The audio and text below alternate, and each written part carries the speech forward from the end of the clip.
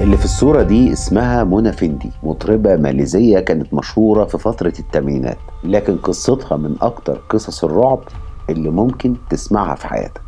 1956 اتولدت مازنة إسماعيل وده اسمها الحقيقي. ولما كبرت في السن شوية كان نفسها تشتغل مطربة وعملت أكتر من تجربة في المجتمع الماليزي لكن غالبا معظم التجارب اللي عملتها كانت دايما بتفشل. وفي فترة الثمانينات أنتجت أول ألبوم موسيقي ليها لكنه برضه فشل. وفي الفترة دي اتعرفت برجل أعمال اسمه محمد فندي. الراجل ده كان مؤمن بموهبتها جدا وهو السبب الرئيسي إنه يغير اسمها من مازنة إسماعيل لمنى فندي. ومن اللحظة دي بتبدأ قصة منى فندي تتغير تماما. محمد فندي بعد ما اقتنع بيها كموهبة غنائية أنتج لها أكتر من أغنية لكن برضه كانت دايما بتلاقي الفشل طريق ثابت في حياتها. لحد ما عرفت إن ممكن عن طريق أعمال السحر تحقق كل أهدافها وأحلامها وتبقى مطربة مشهورة. وبدأت تتعرف على ساحر متخصص في أعمال السحر الأسود وبدأ يعلمها كل الأسرار والطلاسم اللي تقدر من خلالها تحقق أي حاجة هي نفسها فيها. وبعد ما منى فندي اتعلمت أعمال السحر كويس جدا بدأت تنسى حلمها الرئيسي في الغناء وفي الموسيقى وبدأت تركز في إنها تكون متخصصة في أعمال السحر وبدأت تحقق شهرة كبيرة جوه ماليزيا بإنها واحدة من أهم وأشهر المعالجين الروحانيين وفتحت مكتب خاص بيها وكان بيساعدها محمد فندي جوزها في المكتب ده نتيجة للعائد المادي الكبير اللي كان بيدخل لهم بسبب أعمال السحر اللي منى فندي بتعملها للناس واللي كانت بتاخد مقابل مادي كبير جدا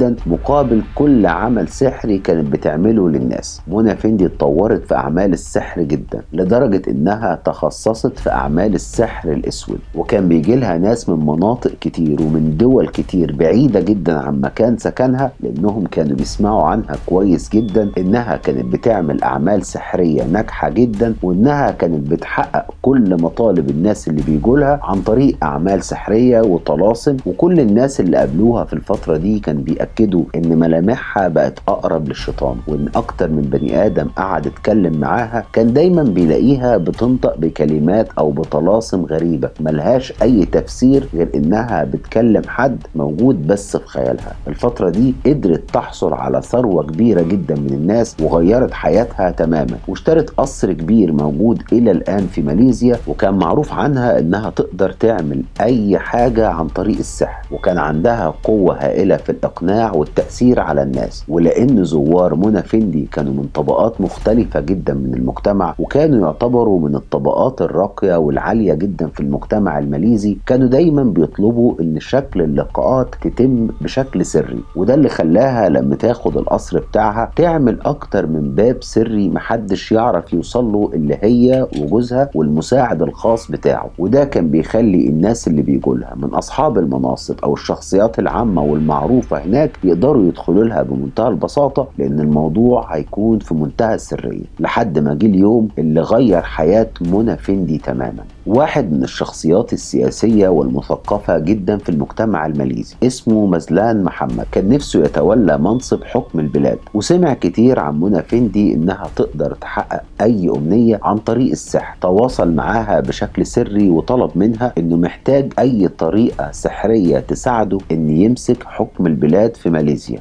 منى فندي ردت عليه إنها محتاجة يومين. خلال اليومين هتتواصل مع الأرواح والشياطين وتسألهم عن أنسب طريقة أو أنسب عمل سحري يساعد مزلان محمد علشان يمسك حكم البلاد. منى فندي قعدت مع جوزها ومع المساعد الخاص بيه وقالت لهم إن دي فرصة العمر وإن هم يقدروا يطلبوا أي مبلغ مالي كبير في سبيل إن هم يحققوا له العمل السحري ده. لكنها حاولت مرة واتنين تتواصل مع الجن والشياطين لكنها فشلت. وإنها محتاجة لطريقة جديدة تقنع بيها الراجل ده إنه يدفع الفلوس وإنه يكون مقتنع بإن اللي هو هيعمله ده عبارة عن طلاسم سحرية تساعده على إن هو يتولى منصب حاكم البلاد. منى فندي تواصلت مع مزلان محمد بشكل سري وبلغته إنها محتاجة مبلغ يقارب للمليون دولار وقالت له إنها قدرت تجيب القبعة والعصا الخاصة بالرئيس الأندونيسي الأسبق سوكارنو وإن الرئيس الأندونيسي الأسبق كان عامل طلاسم في القبعة بتاعته وهي دي اللي خلته يقدر يمسك حكم البلاد في أندونيسيا. ومن خلال الطلاسم اللي موجودة جواهم هتساعده إن هو يمسك حكم البلاد في ماليزيا. مزلان محمد وافق على طول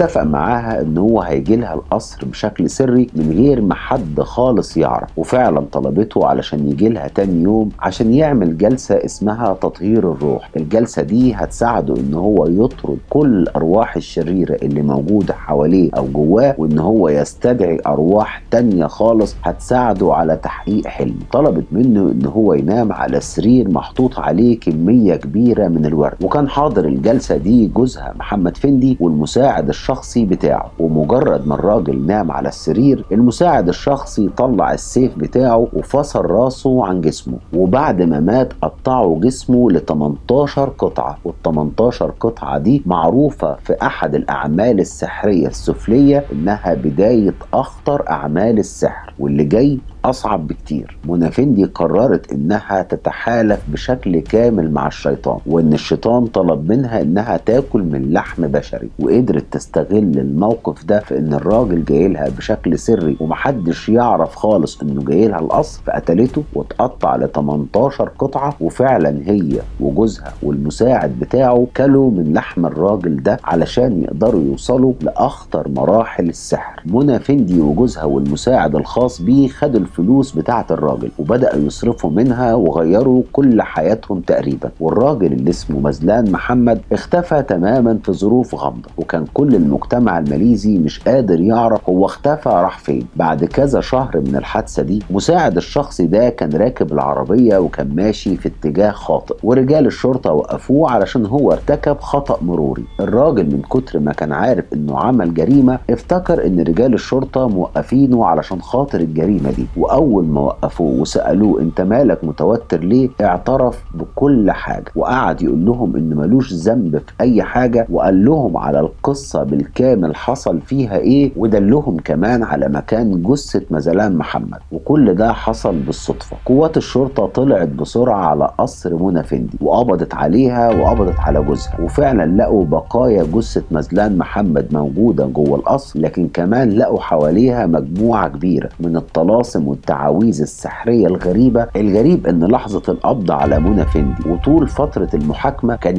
دايما بتضحك للكاميرات ومبتسمة بطريقة غريبة ملهاش تفسير مستحيل تكون دي واحدة داخلة تتحاكم في قضية قتل. كانت دايما بتروح كل المحاكمات وهي مبتسمة وسعيدة جدا. لكن حكم الإعدام اتنفذ في منى فندي وجوزها والمساعد الشخصي ليه سنة 2001 ويوم الإعدام منى فندي قالت للناس اللي واقفين حواليها إنها مش هترحل وهتعود لهم من تاني. قصر منافندي موجود لحد النهارده. وناس كتير جدا من اللي زاروا القصر أكدوا إن هم بيسمعوا أصوات غريبة وبتظهر صورة منافندي دايما متحركة في المرايات اللي داخل القصر. والقصر حاليا مهجور لكنه لسه موجود والناس بتروح تزوره. سلام عليكم.